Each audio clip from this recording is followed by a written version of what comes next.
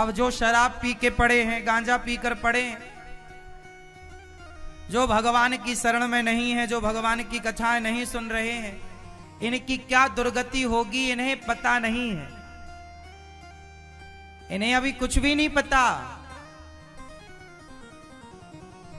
एक बात बताएँ, आज विज्ञान का युग है। यदि सुनामी आती है ना तो वैज्ञानिकों को पहले से ही सैटेलाइट से पता चल जाता है कि सुनामी आने वाली है। अच्छा सुनामी आ जाएगी, फिर पता चले तो नुकसान हो जाएगा। आने के पहले पता चल जाएगी तो लोग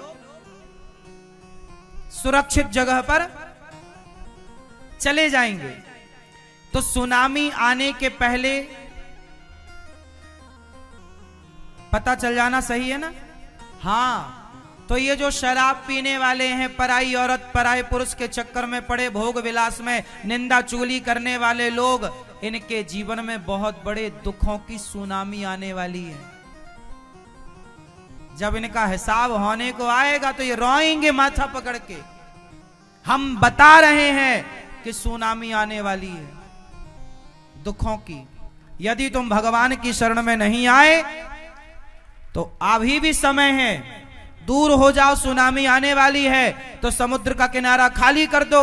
सुनामी दुखों की आने वाली। अभी भी सुधर जाओ। निंदा, चुगली, पराई, स्त्री, पराई, पुरुष से मन, हर बुरे काम छोड़कर और भगवान की शरण में आ जाओ। तो बचना ठीक संभव है। वरना ये सुनामी तुम्हारे बाप दादे याद दिला देगी। छठी का दूध याद आएगा। इसलिए सावधान कर रहे हैं।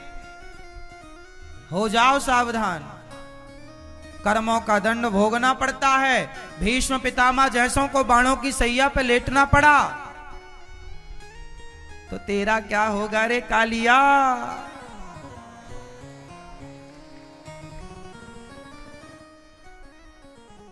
समझ में आ रही है? अजामिल जैसे पापी ने भगवान का नाम जपा। क्या नाम जपा अजामिल ने? श्रीमन नारायण बेटे को बुलाया, बेटा बेटा बेटा, नारायण, बेटे ने नहीं सुना।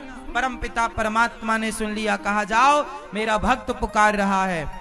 लेकर आओ। एक नाम के बल पर अजामिल तर गया। आप भी काम करते रहो और उस नाम का आश्रय लिए रहो। हे प्रभु, हे श्रीमन नारायण बोलो, हे श्रीमन नारायण मैं आपको कभी भूलू नहीं।